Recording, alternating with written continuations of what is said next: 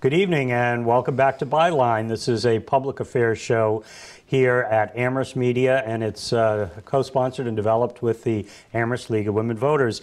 And for those of you who have been following, uh, we've been bringing on our newly elected legislators, both at the local level and at the state level, so you can get to know uh, more about them and what they're working on and, and what's going on. And today's guest is our newly elected state representative, Mindy Domb. Hi, Stan. Welcome. Thank you very It's much. It's really great to have you here. Uh, Mindy, you're no stranger to the people here in Amherst, uh, having run uh, the Survival Center and guided that wonderful organization through its capital campaign and building a new building and bringing on new programs and, and serving a lot of people in our community and uh, surrounding communities uh, with a series of programs and, and ways of helping them be more a part of their community and, and um, giving them a hand when they need it.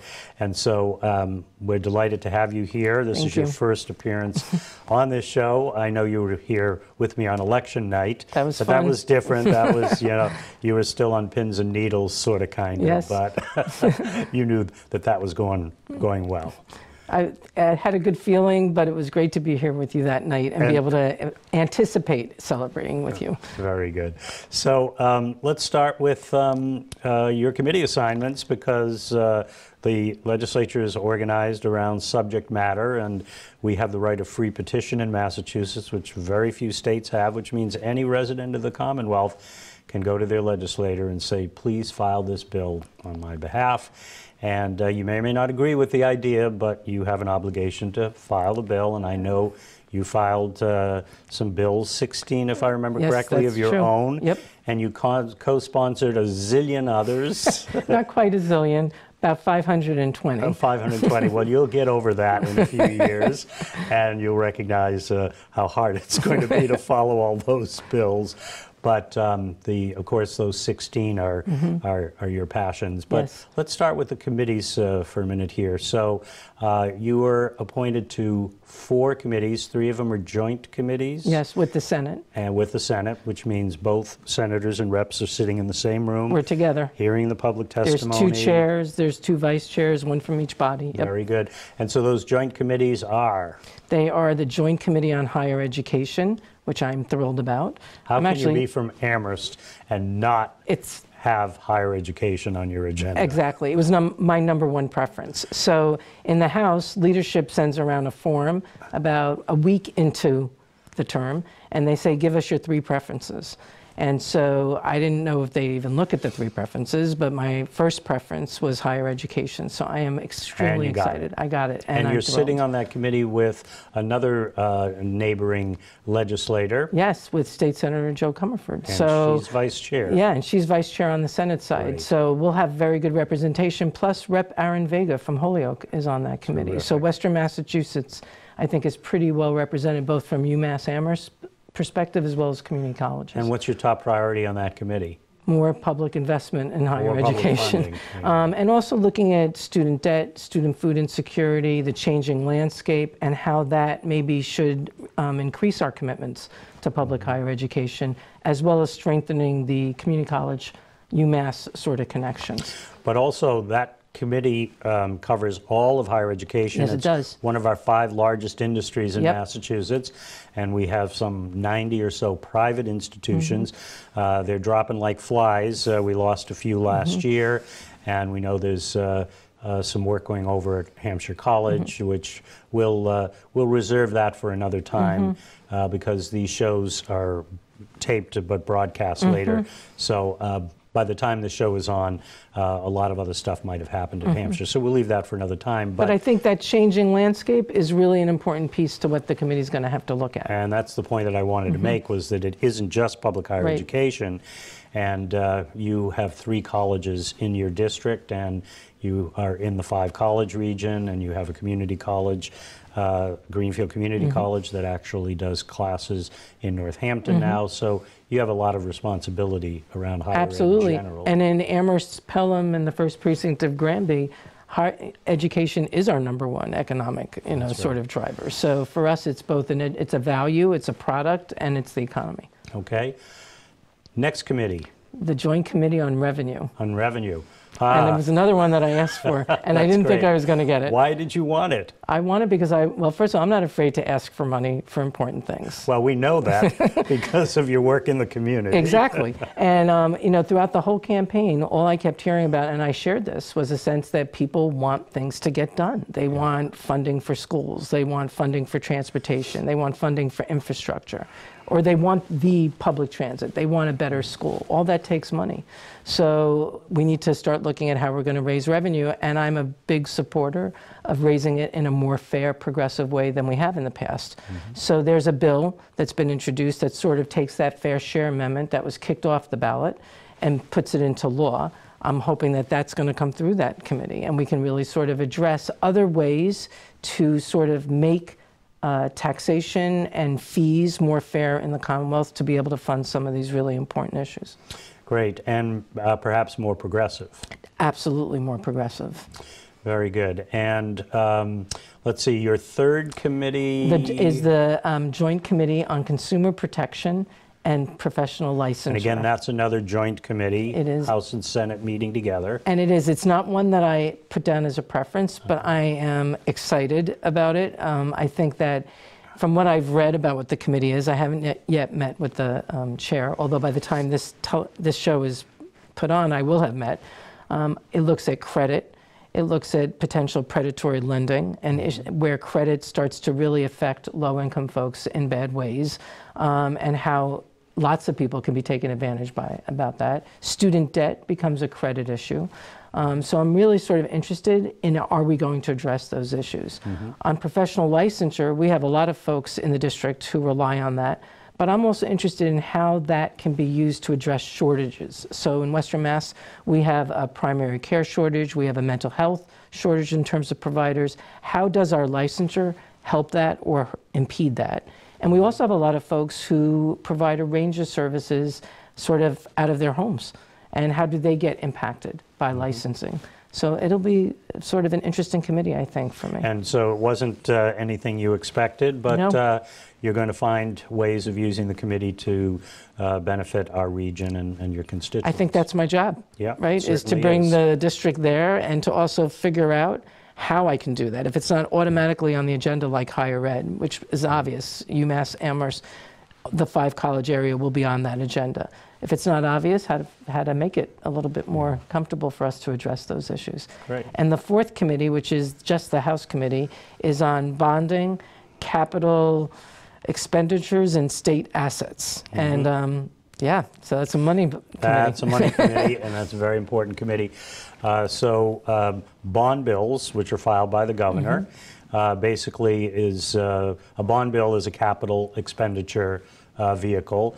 And so let's say it's housing or the environment or higher education or the courts or, well, so, so many other uh, areas where you're going to buy something that Mm-hmm. you're going to pay for over a long period of time because it's, it's not a one-off expenditure that you buy and use like a, I don't know, some gasoline or food. Right.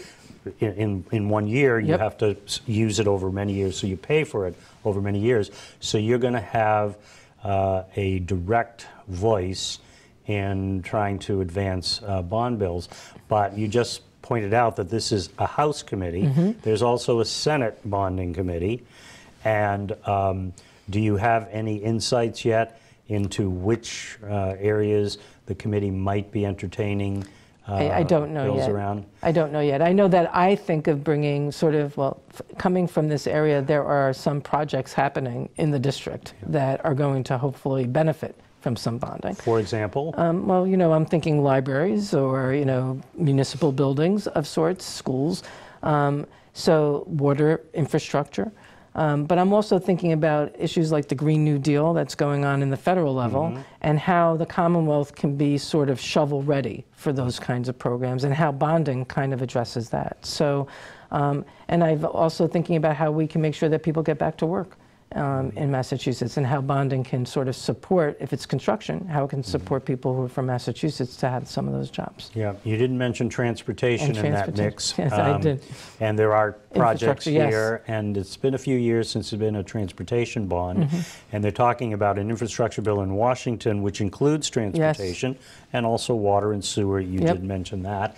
Um, So getting ourselves organized and ready with the matching funds that are Mm-hmm. Needed and uh, queuing up projects so that we're ready, so we're ready to go. And how we can sort of address people's, I think, really strong interests, especially from this district, in climate action with those mm-hmm. bond bills. So even when we mm-hmm. look at transportation bond bills, so how do we view transportation then in the next 10, 15 years? Mm-hmm. We know that we have to start investing more in it as a way to reduce fossil fuels, but then how can we even do more, right? Do we want to look at bonding for an electrified fleet? Do we want to, so it becomes more than just making sure that people can get from point A to point B, but how how is that going to be? That's very consistent with the conversations we've been having with town councilors when they come on and talk about uh, the climate change work that they want to do in our town government. Mm-hmm. And it's the same attitude that you're now reflecting we should be Mm. doing at the state level, which is um, in every area.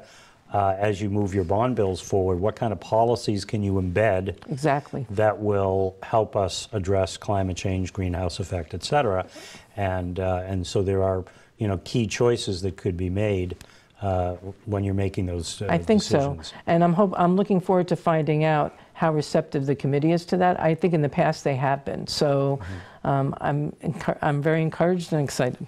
And for the benefit of our viewers, the uh, bond bills typically start in a substantive committee, which is, let's say, housing or transportation, and then it moves to the bonding committee, and then the bonding committee gets their bite at the apple, which means that's where you could do the kind of work you were just describing. And then when it leaves the bonding committee, it goes to the Ways and Means Committee because they have to have to decide how much we can afford to spend. Right. And then it goes to the floor, where you get to offer amendments uh, for projects or policies. And uh, then it goes over to the, the Senate, and bond bills usually start in the House, and then they go over to the Senate. They don't have to start in the House, but they usually do. And then the Senate goes through the same process, and then eventually you reconcile the differences, and it goes to the governor's desk, and he signs it. Or he doesn't sign. It. well, actually, governors usually sign those bond bills. They may send back an amendment or two with some of the some of the uh, details that they disagree with. However, they almost always gets get signed. But then the real work begins because there's always more authorized Right. than dollars to do. So they don't, just because you got a, a, street light uh, or a project in there doesn't mean it's going to happen next year. Right. The legislator then has to work with the administration to get them to fund it, And, uh, actually release the money. yes, So that's a big part of the job that you'll be That's uh, good. taking on. I like uh, taking on, I like having very clear benchmarks of when you need to advocate strongly for things. Very So it's good. Terrific. Now, um, committees, that's one way to participate in the policy development and in the decisions, but you don't get to sit on every committee, and there's some 22 or 3 joint committees now. We're probably up to about 25 Mm-hmm. joint committees in our legislature. And then there are the House committees and the Senate committees, which are separate, but you can't sit on all committees, and you're sitting on four of them. Mm-hmm. But you want to have an impact on some other issues, like, like, say, regional transportation or tourism or arts or whatever. And so we've got caucuses, and the caucuses are voluntary gatherings of members. They self organize, they declare themselves to be a caucus. Nobody has to give you permission to form a caucus. And you figure out your own structure. You're going to have officers, who's going to chair it, how often you're going to change the chairs. And then you have to decide what you're going to do. Mm. You can educate, you can mm-hmm.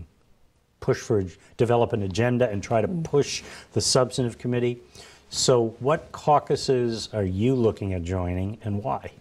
So I'll be joining a couple of different caucuses because for me, um, I'm looking at it as an educational opportunity. Not even if it incorporates specific advocacy around legislation, it'll give me more exposure to information as well as other elected officials who are also concerned about those issues.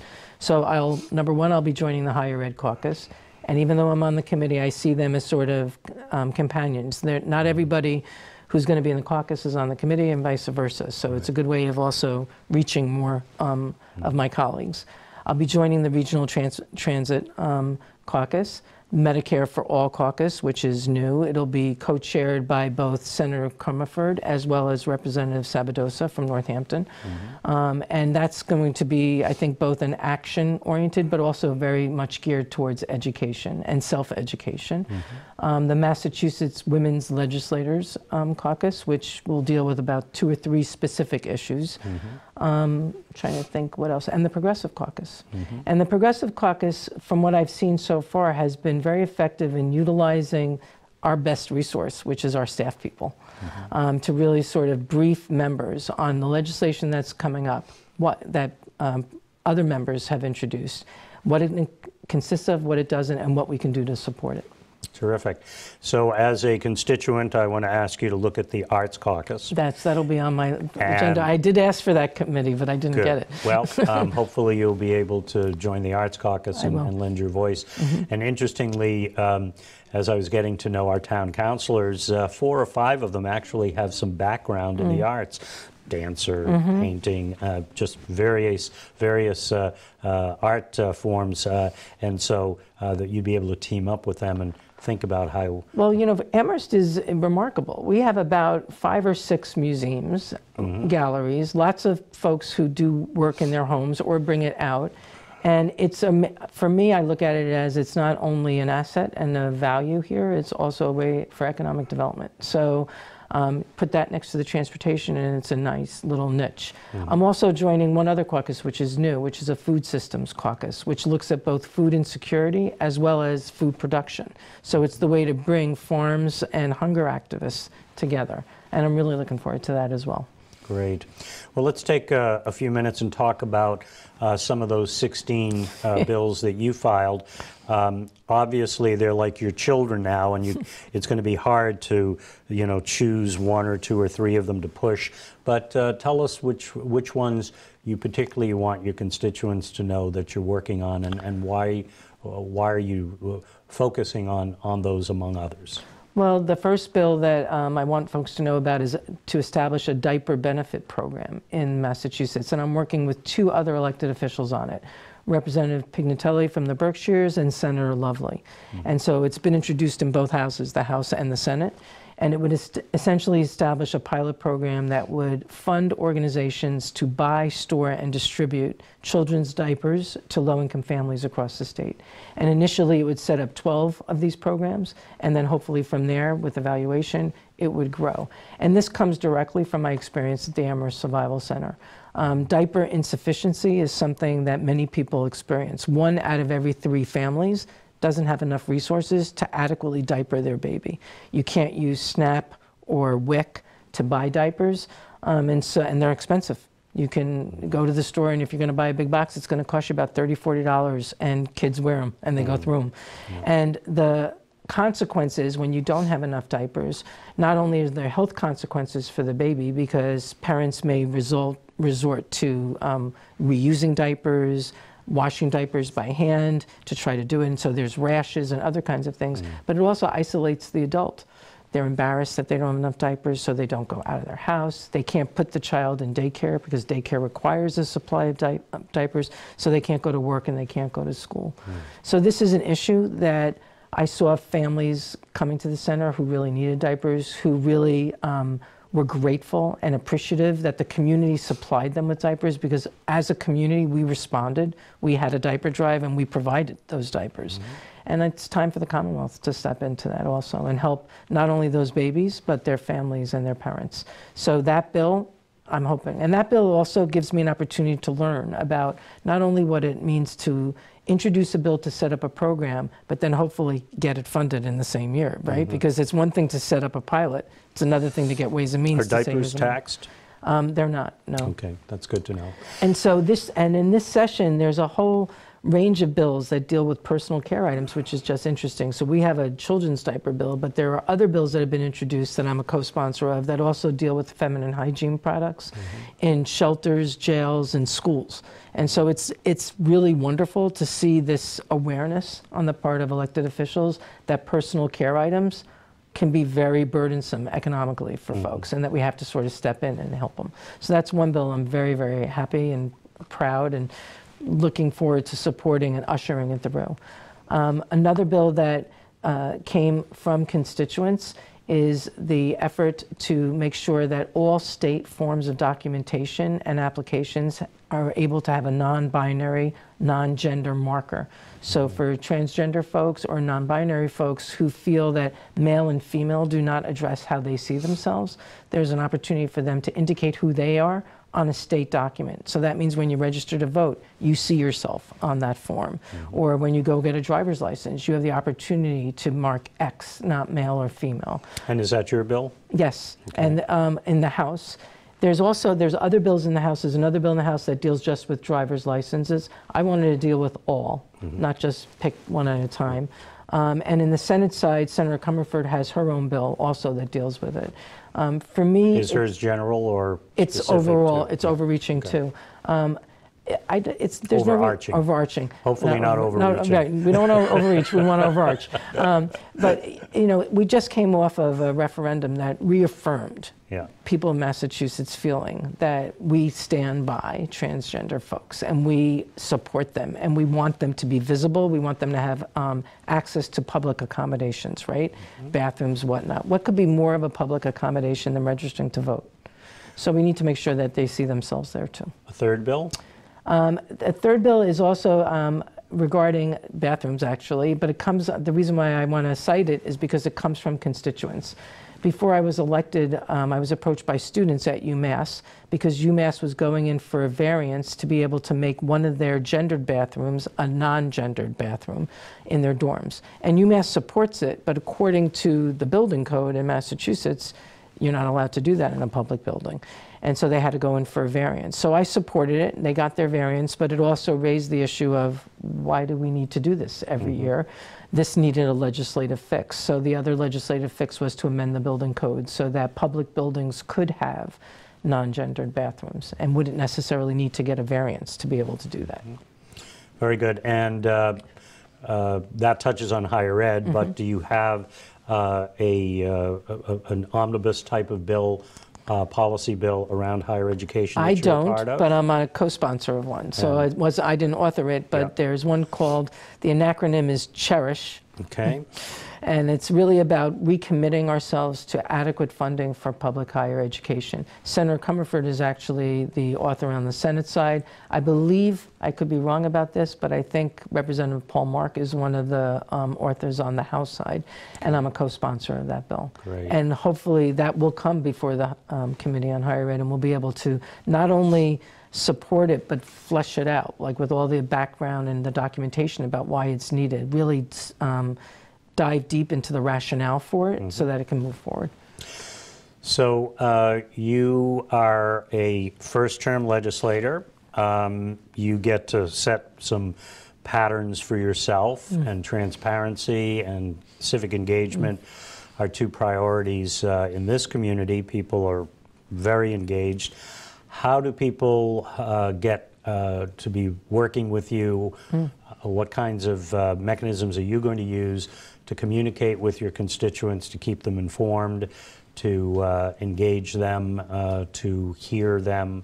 So give us a, a little thumbnail about how you're going to approach all of that. So, so far, and I look, this will be moving forward, um, I've scheduled office hours in each of the towns that I represent um, at least monthly. So Pelham has monthly two-hour office hours. Amherst has a little bit more because one of them is at the senior center and one of them is at the library, and I really want to sort of do them at different times as well as well as in Granby. So that's one thing, is that office hours, and I can talk about how I publicize them in a moment. Um, during the campaign, I also did coffee hours, and I'm continuing to do those. And that's if you're going to get coffee between 8 and 9 and somewhere in Amherst or Granby, you're probably going to see me if you're in my district at one point over the next couple months. We have a specific schedule, though, that we make available through f- social media as well as an electronic newsletter that I send out every month. Um, so those are additional ways. I'm trying to be not prolific on social media, but informative on social media. It ends up being sort of a daily practice on my end, um, but I'm on Facebook, Twitter, and Instagram. Um, fa- they're all at M I N D Y F O R M A, so that's the handle for all of them. You don't have to be on them to be able to access my page, so you can go facebook.com slash Mindy4MA and pull it up. There's an events page on that that will always list office hours, um, coffee hours. The other thing that we've just started to do, which I'm thrilled with, is that the other elected officials representing the Valley get together once a month for what we call legislative listening sessions. And they're on Friday afternoons from 1 to 4. Groups can sign up, and it's an opportunity for advocacy organizations that want to kind of advocate all of us at the same time to do that. And it's a great opportunity for all of us to hear the information all at the same time, to see each other at least monthly, um, and to debrief some of the issues that have come up. And it's we- going to move around? it's going to move around from And- district to district. And is it all uh, Franklin, Hampshire, Hampden? Where- Yeah, it's which- not Hampden, not it's all within Senator Comerford's Comerford's district. district, okay. So last time was in Sunderland, which was Rep. Blais's district, um, Rep. Natalie Blais at the Sunderland Library. This coming month, in March, it will be in Amherst at the Jones Library. In April, I think it will be at South Hadley. In May, I think it's in um, Northampton or Williamsburg. And you have to sign up in order to have a slot. Right, and there's So you three can't slots. just show up. um, You can't just show up, but here's the interesting thing that happened in Sunderland. So we just we expected that the people who signed up would be the people that showed up, and they did. But so did members of the public. They wanted to see what are people asking us to do. We had no idea that the public would be interested in listening. So we set out chairs, and sure enough, there were like 12 people who came to listen. Just to observe and And see what so, was going on. Right. So moving forward, we didn't tell organizations that, but moving forward, we're going to tell people be prepared. The public is watching, and it's okay with us. Mm-hmm. So if it's not okay with you, you may want to schedule another time. It's a terrific idea. Um, Yeah. That's so great. that that worked out. I think that was an exciting uh, exercise in real transparency right there. Oh, terrific. Well, I'm hoping that we'll have you on periodically. Of course. um, And uh, it would be great if you were here three or four times across the year. I'd love to do that. And um, believe it or not, we're out of time. That's and it. so I just want to thank you very much uh, Thank you, Stan. for stepping forward to uh, do an important job for us. And uh, we're looking forward to seeing really great things happen Thank under you. your leadership. Thank And, you uh, very Thank you all much. very much for joining us. And uh, uh, you can see the show uh, rebroadcast on Monday evening. Uh, just before town council meeting, if there is one on that particular uh, Monday, it's uh, it's broadcast 6 p.m. on Monday, and uh, the show uh, uh, will also have been seen uh, at 8 p.m. on Friday evening, and you can uh, watch us also uh, online through the website, YouTube. Uh, so there are many different ways that you can uh, uh, keep in touch with what we're doing here on this show.